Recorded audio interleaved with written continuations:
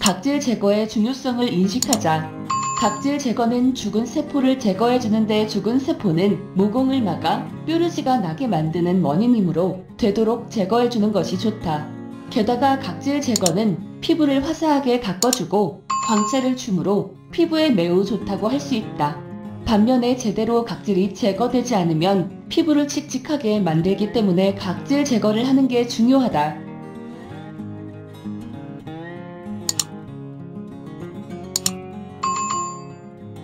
제대로 그리고 규칙적으로 각질 제거를 해주면 오래된 피부층 위로 새롭고 생기 넘치는 피부층이 보이게 되는 것이므로 더 어려 보이는 효과를 얻을 수도 있다.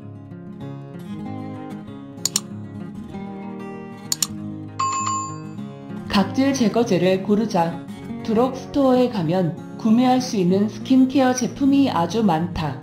용기에 각질 제거라는 말이 적혀 있거나 스크럽즈라고 적힌 제품을 찾는다. 기름이가 많거나 여드름이 잘 나는 피부 타입이라면 살리실산 성분이 들어간 스크럽즈가 좋다.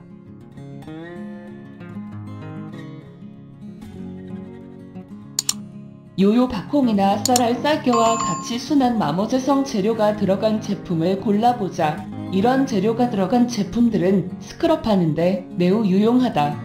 또 어떤 제품에는 살구시나 껍질처럼 뾰족한 입자가 들어있는 경우도 있다. 하지만 자주 따끔거리는 매우 민감한 피부를 지녔다면 이런 종류의 제품은 피하는 것이 좋다.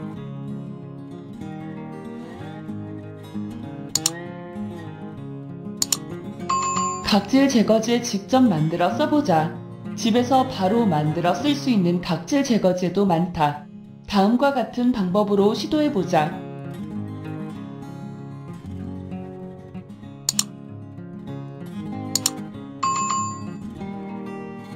첫 번째 방법, 으깬 바나나 한 개와 백설탕 1월 4일 컵, 흑설탕 1월 4일 컵, 레몬 주스 1테이블스푼, 비타민 E 1월 4일 테이블스푼을 모두 넣고 섞어준다. 설탕은 죽은 피부 세포를 제거해주는 마이크로비즈와 같은 역할을 하기 때문에 아주 좋은 스크럽제 재료가 될 수 있다.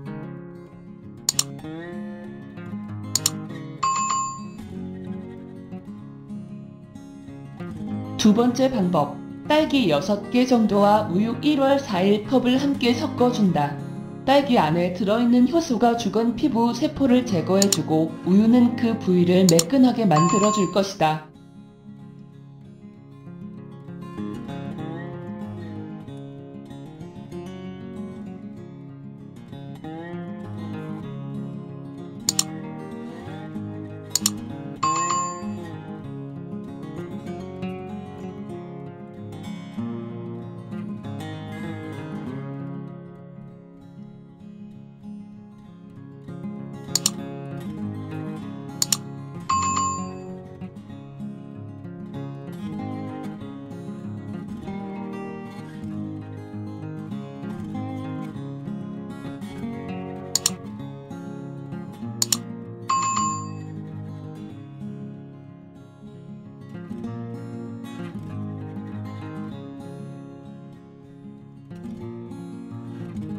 세 번째 방법, 꿀 1티스푼과 올리브 오일 1티스푼을 섞어준다.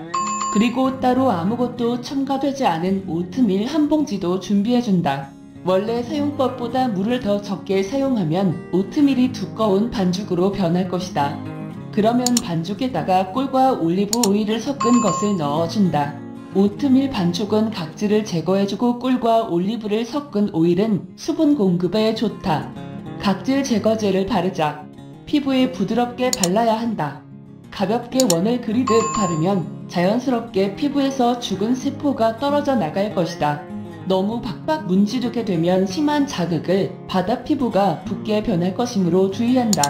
미온수로 씻어내고 손으로 톡톡 말린다.